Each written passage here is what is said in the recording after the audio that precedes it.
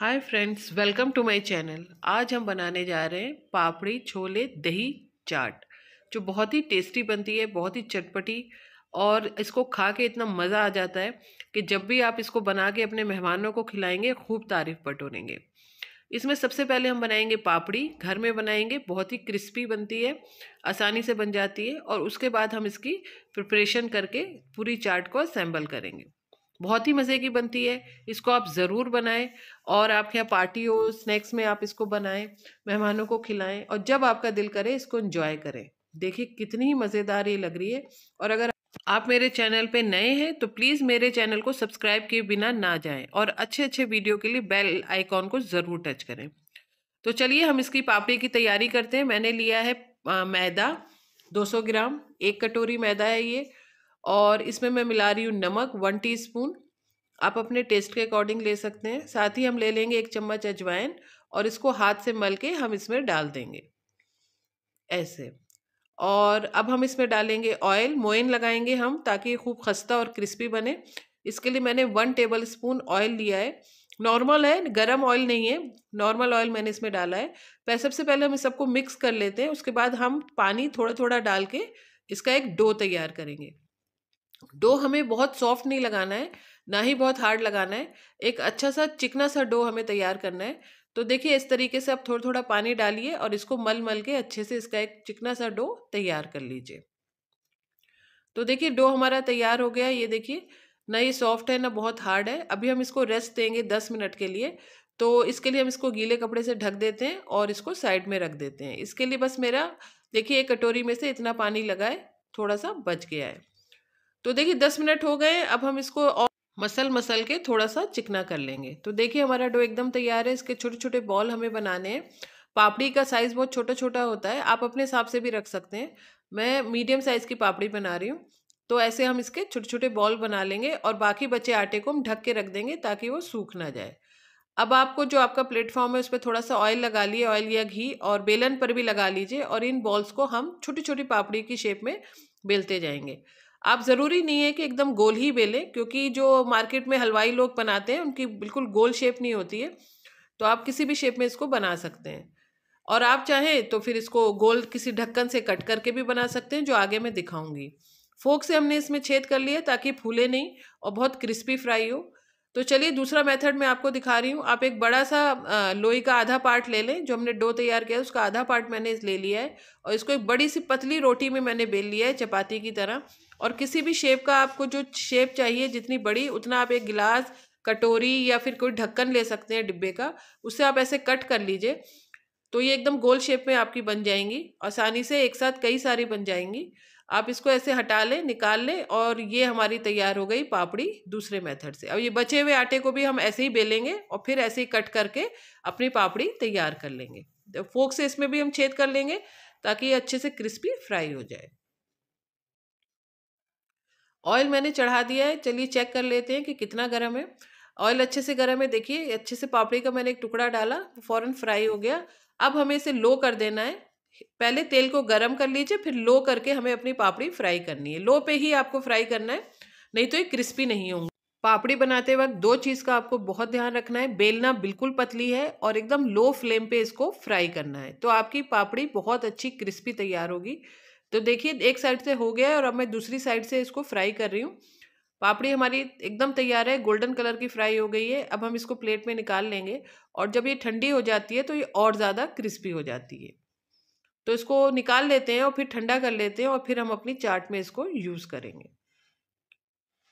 इसी तरीके से हम सारी पापड़ी अपनी तैयार कर लेते हैं।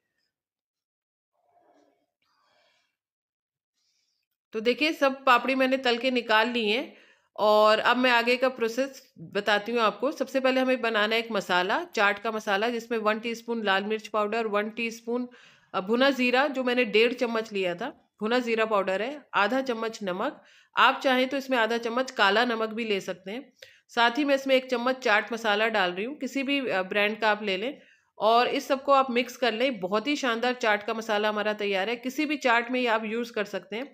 दही बल्ले हों पापड़ी चाट हो, किसी भी चाट के लिए मसाला आपका यूज़ हो सकता है। तो देखिए, पापड़ी हमारी ठंडी होकर कितनी क्रिस्पी हो गई है। बहुत ही शानदार बन के तैयार हुई है। बहुत आसानी से आप इसे बना सकते हैं। साथ ही मैंने लिए काबुली चने। एक कप काबुली चने को रात भर भिगो लिया था और सुबह मैंने तीन सीटी दिला के नमक डाल के इसको बॉयल कर लिया है। साथ ही मैंने तीन से चार आलू को बॉयल किया है, जिसको बारीक काट लिया है।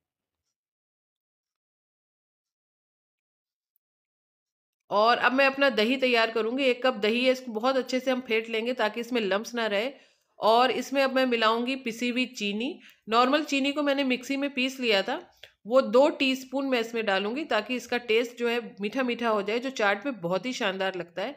अगर आपने आज तक इसको अभी यूज़ नहीं किया है चाट में तो एक बार आप चीनी दही में मिक्स करके यूज़ करें। बहुत ही टेस्ट इसका बदल जाता है चाट का, बहुत ही मज़े की लगती है।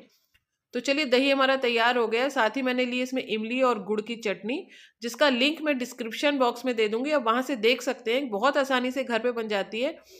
कितनी गाढ़ी और मज़ेदार चटनी बनी है। और साथ ही मैंने लिए हरे धनिए की चटनी। इसका लिंक भी मैं डिस्क्रिप्शन बॉक्स में दे दूँगी। आप वहाँ से चेकआउट कर लिएगा ये चाट के लिए तैयार की है मैंने हरी चटनी। चटपटी तीखी चटनी बनती है ये। और अब चलिए हम अपनी चाट को असेंबल करते हैं। सबसे पहले जो पापड़ी बनाई है हमने, वो मैं क्रश करके प्लेट में डाल रही हूँ। अच्छे से पापड़ी को नीचे एक लेयर हम लगा लेंगे तोड़ के। ये देखिए इस तरीके से अब फैला लें और अब हम डालेंगे अपने चने बॉयल किए हुए। जो नमक डाल के मैंने बॉयल किए थे, वो हम इसमें डाल देंगे। साथ ही हम इसमें डाल देंगे बॉयल आलू। और अब हम इसमें डालेंगे जो मसाला हमने चाट का तैयार किया था, उसको हम छिड़क देंगे। ऊपर से अच्छे से चारों तरफ़ छिड़किएगा, इसका टेस्ट बहुत अच्छा आता है। और अब हम इसमें डालेंगे दही, जो चीनी मिला के हमने दही तैयार किया था, वो अब हम इसमें एक लेयर लगा देंगे, ऊपर से अच्छे से ढक देंगे इसको। चारों तरफ़ डालिए, इसका बहुत ही अच्छा टेस्ट आएगा। और अब हम इसमें डालेंगे धनिए की चटनी, उसको भी हम अच्छे से चारों तरफ़ फैला लेंगे। और अब हम डालेंगे इसमें इमली की चटनी। इमली की चटनी मुझे ज़्यादा पसंद है, इसलिए मैं बहुत सारी इमली की चटनी चाट में यूज़ करती हूँ। आप अपने हिसाब से कम ज़्यादा कर सकते हैं। ऊपर से मैंने डाली है थोड़ी सी तोड़ के पापड़ी। और फिर हम दूसरी लेयर लगा रहे हैं। हम दही डालेंगे, चटनियाँ दोनों डालेंगे। ये मीठी चटनी डाल रही हूँ। इसी तरीके से आप इसको असेंबल करके बनाएँ। और फिर हम ऊपर भी थोड़ा सा मसाला छिड़केंगे। चटपटा तीखा मसाला हमारा चाट का।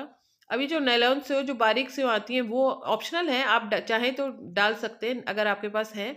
नहीं है तो भी चलेगा। तो वो मेरे पास थी तो मैंने ऊपर से डाल दिए और थोड़े से छोले डाले। साथ ही आप थोड़ा सा हरा धनिया ऊपर से डाल दें। तो देखिए, हमारी चाट एकदम तैयार है, बहुत ही शानदार, बहुत ही टेस्टी चाट बनी है। आप एक बार इसको ज़रूर ट्राई करें और मुझे कमेंट करके बताएँ कि आपकी चाट कैसी बनी। और इतनी क्रिस्पी और चटपटी, खट्टी मीठी चाट आपकी बन के तैयार होगी। आपके गेस्ट आए, रमज़ान में आप इसको बनाएँ, इफ्तारी में बहुत ही शानदार बन के तैयार होती है। तो आप इसको ज़रूर ट्राई करें और मुझे कमेंट करके ज़रूर बताएँ, मुझे आपके कमेंट का इंतज़ार रहता है। और अगर अभी तक आपने मेरा चैनल सब्सक्राइब नहीं किया है तो प्लीज़, एक हम्बल रिक्वेस्ट है, इसे प्लीज़ सब्सक्राइब कर लें। और अगर मेरा वीडियो पसंद आए तो लाइक और शेयर करें। मैं आपसे नए नए वीडियो लेकर फिर मिलूँगी। तब तक take care bye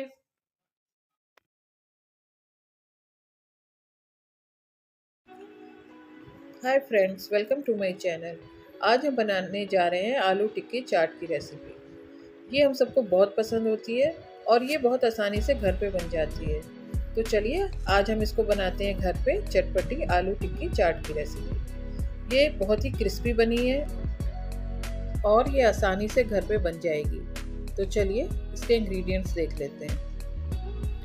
मैंने आधा किलो आलू को बॉईल करके छील लिया और उसके बाद उसे एक घंटे के लिए फ्रिज में रख दिया था। फिर मैंने इसको निकाला एक घंटे बाद और घिस लिया है। और मैंने इसके साथ लिया है पोहा एक कटोरी।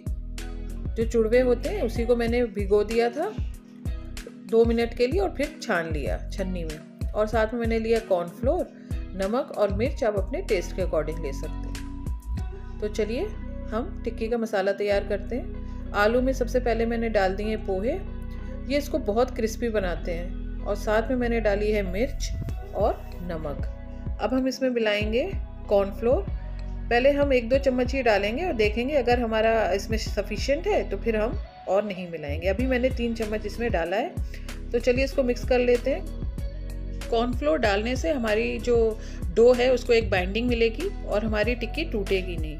तो देखिए, हमारा डो एकदम तैयार है। अच्छे से इसमें सारे मसाले मिक्स हो गए हैं। अब हम इसमें एक टिक्की बनाने का पोर्शन ले लेंगे और एक बॉल की तरह बना लेंगे। अगर ये स्टिकी हो रहा हो तो आप हाथ में थोड़ा सा तेल लगा लीजिए। और देखिए, इसको थोड़ा सा चपटा करके टिक्की की शेप दे देंगे ऐसे। इसी तरीके से हम सारी टिक्की तैयार कर लेते हैं। पहले एक बॉल बनाएँगे, उसको शेप दे देंगे, उसके बाद हाथ से दबा के टिक्की की शेप दे देंगे। ये देखिए, ऐसे। बहुत आसान है और बहुत जल्दी बन जाएगा। तो चलिए इसी तरह हम सारी टिक्की तैयार कर लेते हैं। ये देखिए, मैंने सारी टिक्की बना ली है और उसको मैंने इसके बाद आधे घंटे के लिए फ्रिज में रख दिया था। फ्रीज़र में नहीं, नीचे फ्रिज में ही रखना है। इससे हमारी टिक्की बहुत कुरकुरी फ्राई होगी। तो अगर आप रमज़ान में बना रहे हो तो टिक्की बना के फ्रिज में रख दें और जब इफ्तार का टाइम है तो गल के इसको सर्व कर सकते हैं। आप चाहें तो इसको डीप फ्राई भी कर सकते हैं। मैं शैलो फ्राई कर रही हूँ। हल्का सा तेल मैंने तवे पर डाल लिया है और इस पर मैंने रख दी है टिक्की फ्राई होने के लिए। फ्लेम हमारी मीडियम टू लो है हाई फ्लेम पे हमें इसे नहीं तलना है। और बहुत लो भी ना रखें मीडियम टू लो रखें। जब एक साइड से हो जाएगी गोल्डन ब्राउन तब हम इसको पलट के दूसरी साइड से भी फ्राई कर लेंगे। तो चलिए चेक कर लेते हैं, देखिए, ये एक साइड से बहुत अच्छे से फ्राई हो गई है, अब हम इसको दूसरी साइड से भी फ्राई करेंगे। बहुत अच्छा कलर हमारी टिक्की पे आ गया है गोल्डन कलर आया है। देखिए ऐसे, अब ये दोनों साइड से अच्छे से फ्राई हो गई है। तो चलिए हम इसको निकाल लेते हैं। ये देखिए, कितनी अच्छी कुरकुरी टिक्की फ्राई हुई है। इसी तरह हम बाकी की टिक्की भी तल लेंगे। हमने तेल थोड़ा सा पैन में डाला और अब हम अपनी टिक्की फ्राई कर लेंगे दोनों साइड से। तो चलिए एक मसाला तैयार कर लेते हैं टिक्की के। ऊपर हमारा चटपटा मसाला, इसमें लिया है मैंने ज़ीरा, भुना हुआ एक चम्मच, और ली है मिर्च, और साथ में मैंने लिया है इसमें काला नमक। और अब हम इसमें मिला लेंगे आधा चम्मच नमक और इस सबको हम मिक्स कर लेंगे और इसको मसाले को बना के हम रख लेंगे ताकि हम जब असेंबल करें टिक्कियों को तो हमें आसानी रहे। ये देखिए, आप इसको बना के स्टोर भी कर सकते हैं। हमने ली है एक इमली की खट्टी मीठी चटनी और धनिया की चटनी। इन दोनों का लिंक मैं डिस्क्रिप्शन बॉक्स में दे रही हूँ। अगर आप चाहें तो वहाँ से चेकआउट कर सकते हैं। ये देखिए, ये बहुत ही टेस्टी बनती है। इसको आप बना के स्टोर करें। और अब हम इसमें लेंगे दही एक कटोरी, जिसको मैंने अच्छे से फेंट लिया है, और अब इसमें मैं मिलाऊँगी एक चम्मच पिसी हुई चीनी। आप अपने टेस्ट के अकॉर्डिंग चीनी मिला सकते हैं। इसको हम अच्छे से मिक्स कर लेंगे। दही में हमें पानी बिल्कुल भी नहीं मिलाना है, हमें गाढ़ा दही लेना है। और अगर आपका दही अगर पतला है तो थोड़ी देर छन्ने में रख दें, पाँच मिनट, ताकि उसका एक्स्ट्रा वाटर निकल जाए। तो चलिए अब हम टिक्की को असेंबल कर लेते हैं। मैंने दो टिक्की ली हैं। इसको हम हल्का सा प्रेस कर देंगे। अब हम इसमें डालेंगे दही। अच्छे से हम इसमें दही डाल देंगे। और अब हम इसमें मिलाएँगे खट्टी मीठी इमली की चटनी। दही, चटनियाँ, इन सब का प्रोपोर्शन आप अपने हिसाब से रख सकते हैं। मुझे मीठी चटनी बहुत पसंद है, इसलिए मैं थोड़ा ज़्यादा डाल रही हूँ। अब इसमें हम मिला देंगे हरी चटनी। आप चाहें तो इसके ऊपर जो सेव आते हैं, वो भी डाल सकते हैं, अनार डाल सकते हैं, वो आपके ऊपर है, आप इसको कैसे सजाना चाहते हैं? तो देखिए, हमारी टिक्की एकदम तैयार है। अब हम इस पर डालेंगे अपना चटपटा मसाला, जो हमने बना के मिक्स करके रखा था। आप ये मसाला बना के स्टोर कर लें, ताकि आपको जब आपको टिक्की खाने का मन करे तो आप झटपट निकालें और उसको ट्राई करें। तो देखिए, टिक्की एकदम तैयार है। क्रिस्पी आलू की टिक्की बहुत ही मज़ेदार लग रही है और साथ में टेस्टी भी है। अगर आपको मेरी रेसिपी पसंद आती है तो प्लीज़ मेरे चैनल को सब्सक्राइब करना ना भूलें और मेरे वीडियो को लाइक और शेयर करना बिल्कुल ना भूलें। मैं आपसे एक नई वीडियो के साथ फिर मिलती हूँ। तब तक टेक केयर बाय बाय